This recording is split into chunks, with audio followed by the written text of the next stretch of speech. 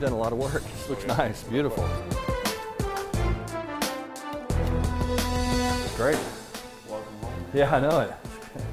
You can't beat it. It's a fantastic place.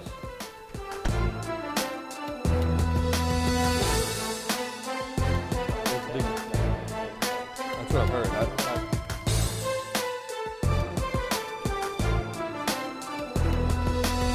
What we're going to have to do is get to know each other and get to where we get to the point where we can trust each other.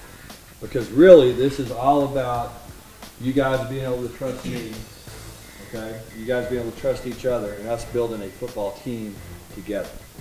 All right? I am a big believer that the only way we're going to be successful in any of this is by coming together and being better collectively than we are individually. I'm incredibly fortunate to be here at, the University of California uh, because this is a remarkable institution that uh, gives me all the resources that I could ask for to go out there and field a championship football program.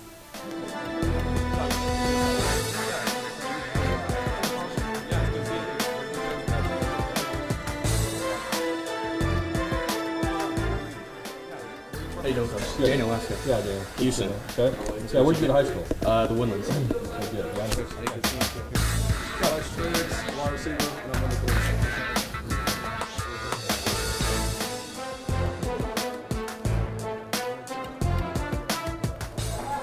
So come check out the locker room real quick. It's pretty nice, man. This is nice. Yeah, it is. Yeah, it's really nice. It's better than it used to be. Oh, yeah. Oh, yeah. Yeah, it's really nice. It's perfect setup. Okay, guys. See y'all. All right. Welcome home. Yeah, thank you. Appreciate it. Appreciate it. Hey, Sonny Dykes. Hi, it's one of the. Yes, sir. It's nice to meet you.